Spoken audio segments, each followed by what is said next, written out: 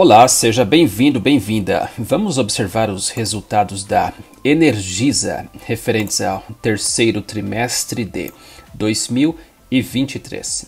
Vamos começar aqui pela base anual, 3T22 contra o 3T23.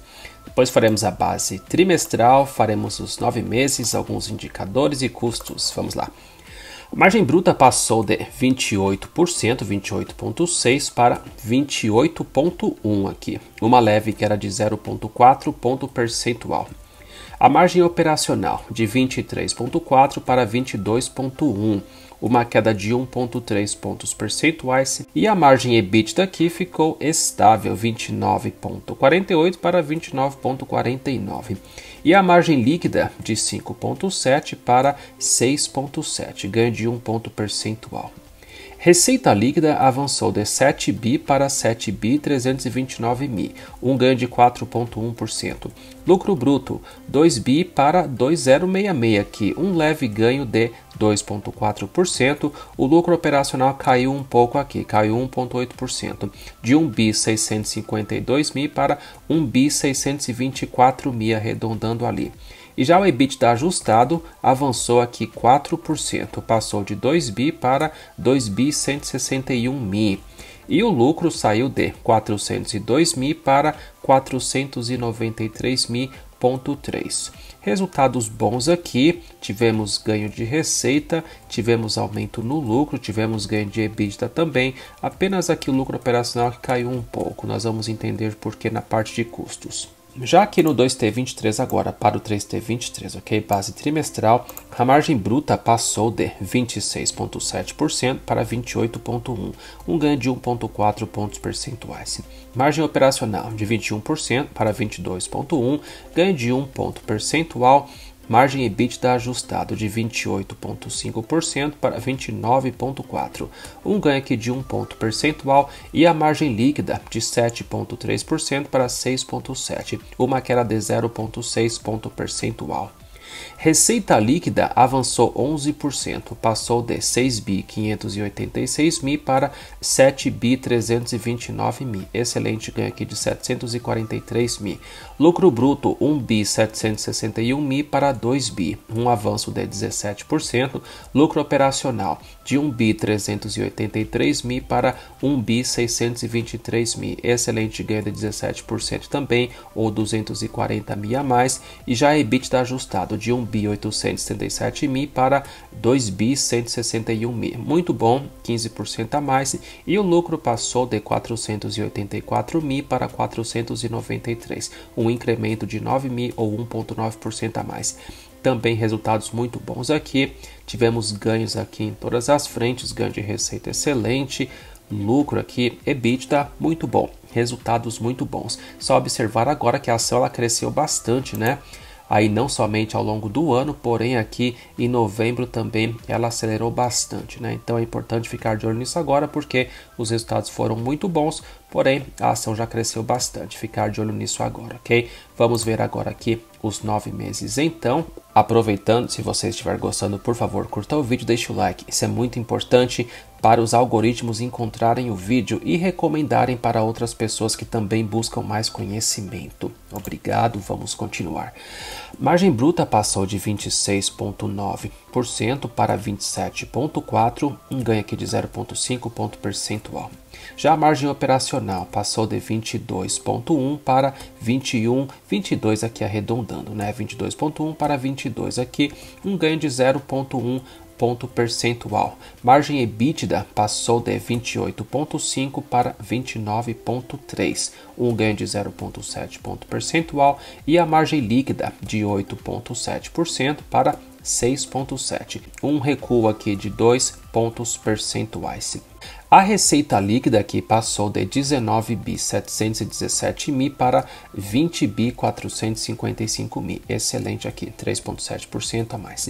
Lucro bruto 5 bi 300 mi para 5 bi 600 mi, um avanço de 5,7% também. Lucro operacional 4 bi 359 mi para 4 bi 497 mi, um ganho de 3,2% e EBITDA ajustado de 5 bi 633 mi para 5 bi 991 mi, um ganho de 6,4% E o lucro aqui teve uma queda de 20%, também vamos entender na parte de custos, já que houve aqui ganho de receita, lucro operacional também foi maior, por que, que o lucro aqui reduziu? Vamos entender lá nos custos. Então nós passamos aqui de 1 bi 732 mil para 1 bi 337 mil, um recuo de 355 mil. Bom, apesar aqui do recuo no lucro, que nós vamos entender, os números foram muito bons também. Vamos ver agora então aqui, últimos 12 meses a receita foi de 27 bi, o lucro aqui nos últimos 12 meses está em 1 bi 688 mil, com uma margem líquida de 6,2%. Muito bom.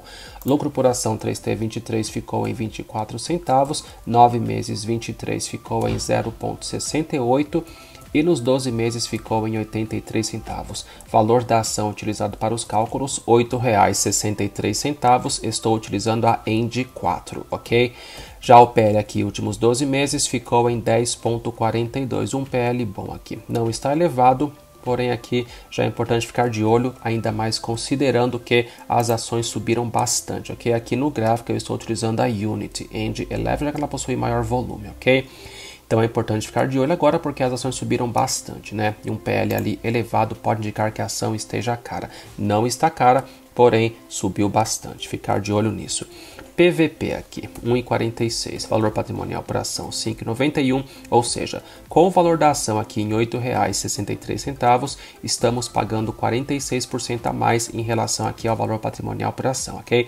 Não está descontada, também não está caro, está aí né, entre 1, 1,5, às vezes até 2, dependendo dos resultados da empresa, acaba sendo aí um número interessante, ok? Mas ficar de olho no PL e no crescimento atual. Capital social a realizar, 2T23 para o 3T23 não houve alteração, número de ações também não mudou, valor de mercado 17 bi 500 mil, dividendos últimos 12 meses 3,5% pela END 4, ok? Resultado financeiro líquido trimestre foi negativo aqui, menos 650 mil. E o lucro aqui, o prejuízo acumulado, está com, felizmente, um lucro acumulado aqui de 1 bi. Muito bom. A alavancagem aqui está um pouco alta, ok? 3.3, isso aí explica por que, que o resultado financeiro líquido aqui está bem alto, está elevado, apesar dos ótimos números da empresa, né? Quanto mais aí, quanto pior o resultado financeiro líquido, quanto mais elevado é negativo, menos lucro aí sobra para os bolsos da empresa, né? Então aí já fica um, um ponto de alerta e a gente vai entender ali nos custos por que, que o lucro caiu. Isso está realmente atrelado aqui com o resultado financeiro líquido e a alavancagem que está um pouco elevada ok? Mas no setor elétrico é normal ter alavancagem realmente mais elevada. Dívida líquida aqui 25 bi, com o EBITDA ajustado aqui de 7 bi 600 mil, temos alavancagem de 3,35. Pelo patrimônio líquido também está aqui relativamente alta, 2,1, dívida líquida 25 bi, patrimônio líquido 12 bi e está alavancagem aqui de 2,1 pelo patrimônio líquido. Vamos ver agora aqui os custos então para entender por que que aqui 2T23 para o 3T23 nós tivemos ganho de receita aqui de 11%, porém o lucro caiu, né? Bem como aqui nos nove meses também. Nós tivemos aqui a receita aumentou 3,7%, porém houve queda nos lucros. Vamos lá. Bom, aqui a receita avançou 4,1%, os custos também subiram aqui 4,7%, então já basicamente anulou ali, né? Teve uma sobra aqui ainda, ó, 48 mil aqui no lucro bruto, avançou aqui 2,4%, despesas e receitas operacionais, vendas gerais, administrativas, etc. Elas avançaram 21% aqui, menos 77 mil para a empresa. Com isso, tivemos aqui o lucro operacional passou de 1 bi 652 mil para 1 bi 623 mil, uma leve queda aqui de 1,8% aqui na base anual, ok? 3T22 com o 3T23. E já o resultado financeiro líquido melhorou aqui do 3T22 para o 3T23, teve uma melhora aqui de 300 mil ou 31% a menos, muito bom.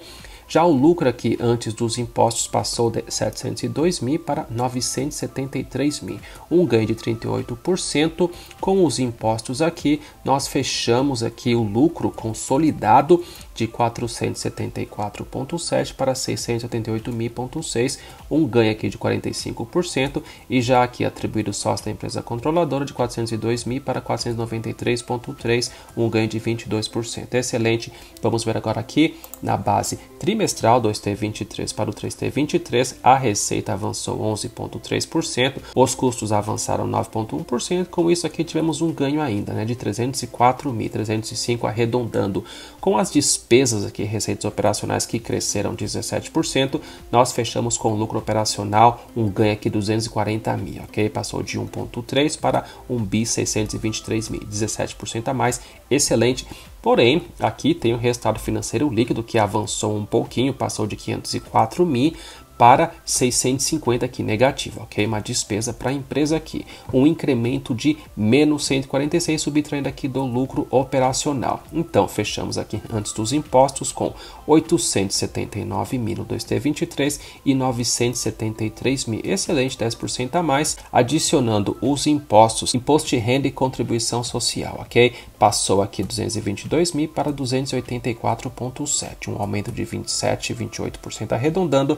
Então tivemos aqui o lucro consolidado que passou de 656 para 688, uma leve variação aqui de 4,9% e atribuído sócio da empresa controladora 484 para 493,3, 1,9% a mais. Agora vamos ver nos nove meses então, né? Porque nos nove meses teve uma variação aqui bem brusca, né? Nós tivemos aqui o ganho na receita, porém o lucro caiu bastante. Vamos entender. Receita líquida avançou 3,7%, os custos avançaram 3%, muito bom, né? Porque a receita avançou bem mais do que os custos, então tivemos aqui um lucro bruto a mais de 304 mil, passou de 5 bi 300 mil para 5 bi 600 mil, excelente, 5,7% a mais. As despesas operacionais aqui, ou receita, elas avançaram aqui 17%, 945 mil para 1 bi 111 mil, ou menos 166 mil aqui, né, para os bolsos da empresa. O lucro operacional aqui que passou de 4 bi 359 mil para 4 bi 497 mil, acrescentando aqui 138 mil para a empresa, um ganho aqui de 3,2%. Porém, o resultado financeiro líquido aumentou bastante aqui, ó, 16%, ok? Passou de 1 bi 658 mil aqui, uma despesa, ok? Negativo, para 1 bi 925 mil, uma perda aqui de 266 mil para a empresa. Com isso, tivemos aqui já o lucro antes dos impostos, que passou de 2 bi 700 mil para 2 bi 500 mil, uma perda aqui de 4,8%, adicionando os impostos aqui nos nove meses 22, menos 758 mil, imposto de renda, contribuição social, ok? Contra aqui, menos 717, arredondando menos 718, nove meses 23, houve um ganho aqui de 40 mil nos impostos, então fechamos aqui com o lucro consolidado nove meses 22, 1 bi 942 mil contra 1 bi 854 mil, ou 4,6% a menos, 88 mil aqui a menos, e já aqui atribuído aos sócios da empresa controladora, passou de 1 bi 700 mil para 1 bi 377 mil, menos 20%. Okay? É importante observar essa discrepância em relação ao lucro consolidado e ao atribuído aos sócios da empresa e controladora, ok?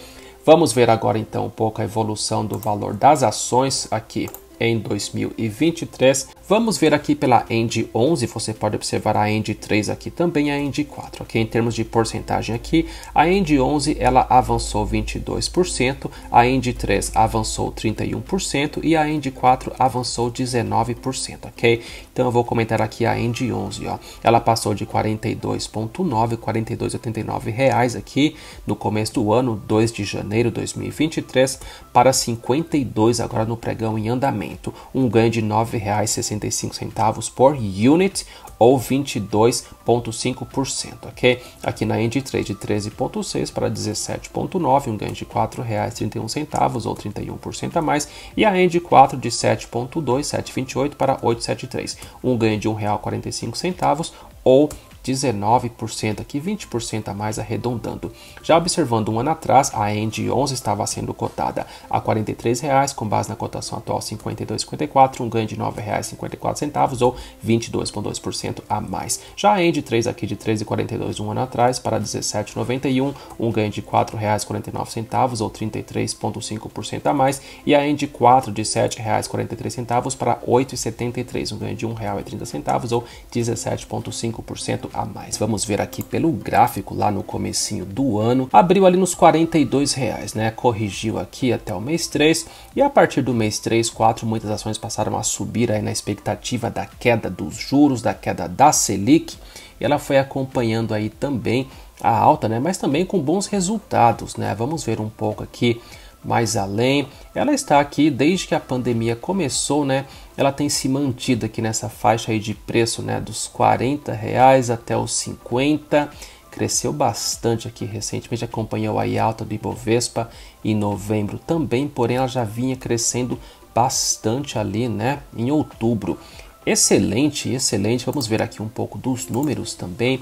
Um histórico aqui, uma empresa que sempre traz ótimos resultados aqui, ó. 2022 fechou aqui com 26 bi de receita, houve queda aqui no lucro, a margem espremeu um pouquinho, passou para 8.1. Então aqui 2020, 20 bi, 26 aqui em 2021, excelente, aumentou o lucro aqui. Então a empresa vem entregando aí bons resultados, né? Este ano aqui um T 23, 6 bi 500 mil com 400 mil aqui de lucro, 2T 23, 6 bi 586 aqui, um leve ganho de 0,7% aqui. Na receita, excelente, o lucro aqui aumentou 21%, excelente, margem 7.4 e aqui no 3T houve uma queda de margem, né? observando aqui com o 2T já comparado ali, porém houve ganho de receita, né? E o lucro aqui aumentou um pouquinho, apesar da queda na margem. Bom, os números estão muito bons, né? A empresa aí não costuma fechar no prejuízo aqui com a pandemia. Ela teve um prejuízo aqui no 2T20, porém a empresa costuma entregar bons resultados aqui, né? 2T19 também fechou aqui com prejuízo, mas no geral aí a empresa realmente costuma, acho que ela tem um negócio com 2T aqui, né? 2T16 também fechou com prejuízo, mas em geral aí a empresa costuma realmente trazer bons resultados, né? Bom, é isso que eu tenho para falar em relação à Energisa. Se você gostar, por favor, curta o vídeo, deixe o like. No mais, desejo muita boa sorte para você, sucesso e até a próxima.